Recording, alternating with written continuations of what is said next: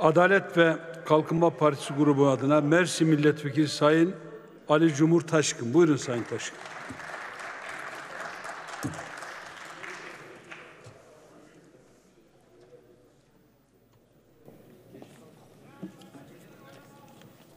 Sayın Başkan, değerli milletvekilleri, HDP grubunun vermiş olduğu grup önerisi üzerine AK Parti grubu adına söz almış bulunuyorum. Bu vesileyle genel kurulu saygıyla selamlıyorum.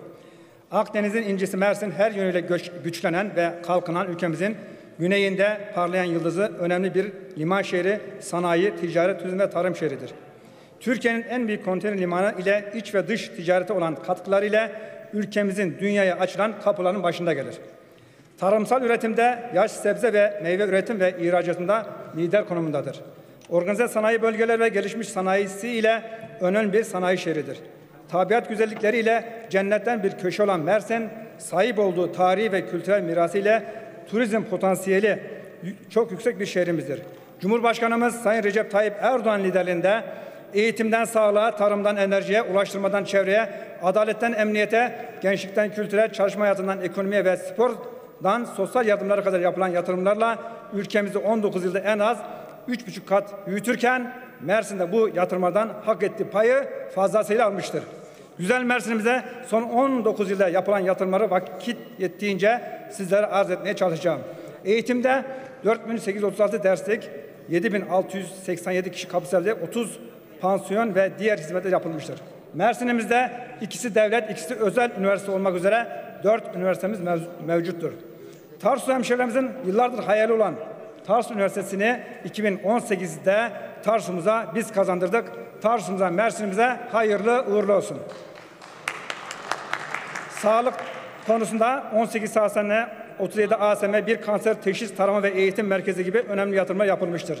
Yine özellikle 1300 yataklı Mersin Şehir Hastanesi 2017 yılında hizmete girmiş olup özellikle bu pandemi sürecinde şehir hastane önemli bir önemli bir kez daha anlaşılmıştır.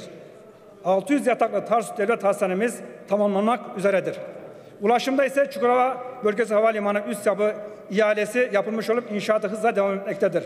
Mersin Adana Gaziantep yüksek hızlı tren yolu yine Mersin Antalya arası Akdeniz sahil yolu Tarsus Çamlıyala Silifke Muz Silifke Günler Aydıncık Mersin Gözne yolu Erdemli Güzeloluk Mersin OSP otoyolu bağlantısı ve diğer bazı hizmetler hızla devam etmektedir.